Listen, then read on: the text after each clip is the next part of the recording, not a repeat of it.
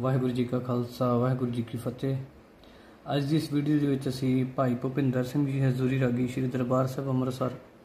ਉਹਨਾਂ ਦਾ ਗਾਇਨ ਕੀਤਾ ਹੋਇਆ ਸ਼ਬਦ, ਜਾਮ ਗੁਰੂ ਹੋਏ ਵੱਲ ਲੱਖ ਪਾਹੇ ਕਹਿ ਕੀਜੇ। ਇਹ ਸ਼ਬਦ ਅਸੀਂ ਹਾਰਮੋਨੀਅਮ ਤੇ ਸਿੱਖਾਂਗੇ। ਵੀਰਾਂ ਦੇ ਲਈ ਮੈਂ ਵੀਡੀਓ ਕਰ ਰਿਹਾ, ਪਹਿਲੇ ਕਾਲੇ ਤੋਂ। ਤੇ ਤਾਲ ਇਸ ਦੇ ਵਿੱਚ ਦੀਪ ਚੰਦੀ ਵੱਜੇਗਾ ਤੇ 14 ਮਤਰੇ ਦਾ। ਉਹ ਆਪ ਜੀ ਨੇ ਖਿਆਲ ਰੱਖਣਾ ਹੈ। ਜਦੋਂ ਵੀ ਪ੍ਰੈਕਟਿਸ ਕਰਨੀ ਹੈ, ਤਾਲ ਦੇ ਨਾਲ ਕਰਨ ਦੀ ਕੋਸ਼ਿਸ਼ ਕਰਨੀ ਹੈ ਤਾਂ ਜੋ ਆਪ ਜੀ ਨੂੰ ਤਾਲ ਦੀ ਚਾਲ ਦਾ ਪਤਾ ਲੱਗ ਸਕੇ। ਸੋ ਸਭ ਤੋਂ ਪਹਿਲਾਂ ਚੈਨਲ ਸਬਸਕ੍ਰਾਈਬ ਕਰ ਲਓ। ਟੈਲੀਗ੍ਰਾਮ ਚੈਨਲ ਦਾ ਲਿੰਕ ਹੈ, ਉਹ ਜੁਆਇਨ ਕਰ ਲਓ, ਤਾਂ ਜੋ ਨੈਕਸਟ ਵੀਡੀਓਜ਼ ਤੁਹਾਡੇ ਤੱਕ ਪਹੁੰਚਦੇ ਰਹਿਣ। ਆਓ ਵੀਡੀਓ ਸ਼ੁਰੂ ਕਰਦੇ ਹਾਂ ਜੀ। ਇਸ ਸ਼ਬਦ ਦੇ ਵਿੱਚ ਜੋ ਸੁਰ ਲੱਗਦੇ ਹਨ, ਉਹ ਰਾਗ ਬਿਹਾਗ ਦੇ ਲੱਗਦੇ ਹਨ। ਖਿਆਲ ਰੱਖਣਾ ਆਪ ਜੀ ਨੇ। ਨੀ ਸਾ ਗਾ ਮਾ ਪਾ ਨੀ ਸਾ ਸਾ ਨੀ ਧ ਪ ਮਾ ਪ ਗ ਮ ਗ ਰੇ ਸਾ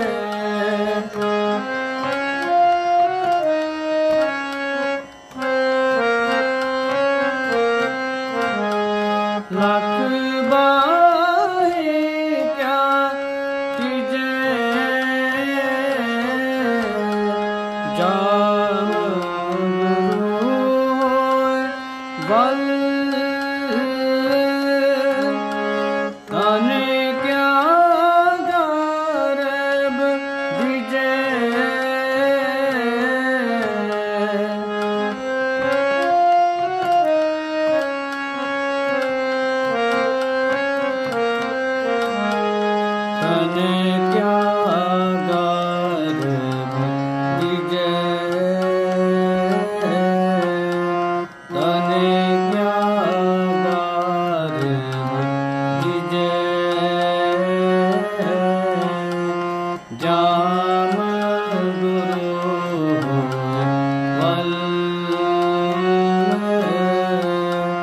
ਜਾਮ ਗੁਰੂ ਵੱਲ